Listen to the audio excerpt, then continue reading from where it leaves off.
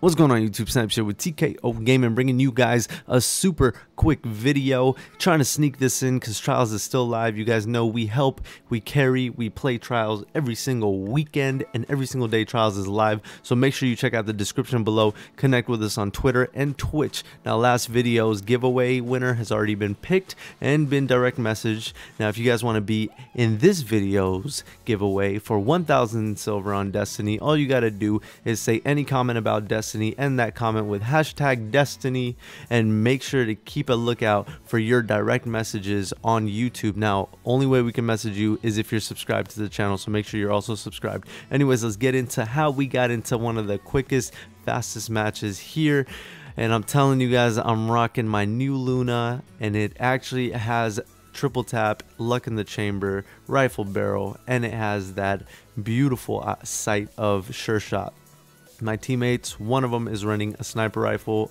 paired with the last word hand cannon. The other one is running Blade Dancer with a shotgun hand cannon, or actually pulse rifle, I should say. We're doing pretty well. Flawless runs that we've been doing have been pretty fast as well. And you guys can kind of maybe mimic this for your own team. We have two Nova Bombs and one Blade running here. Not the best build. I do recommend one Arc Warlock because Arc Warlock Super is OP. You can easily win around or even clutch around 1v3 with that Super.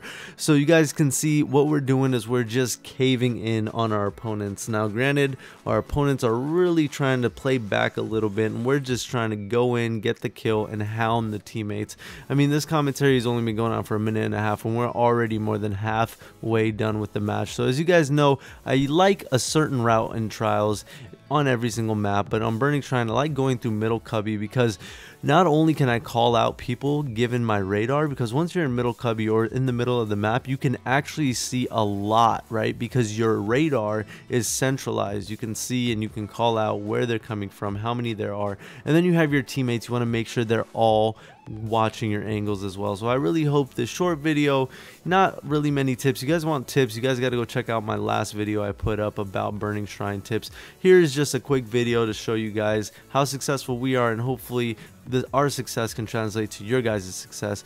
Now, I want to say one thing, guys. If you guys want to be a part of daily updates and giveaways, make sure to follow us on Twitter at RealTKO Gaming. You guys can check out all the info in the description below for everything you need to know guys so please let's get into it subscribe if you haven't and i'll see you guys in the next video thank you guys so much for all the support peace out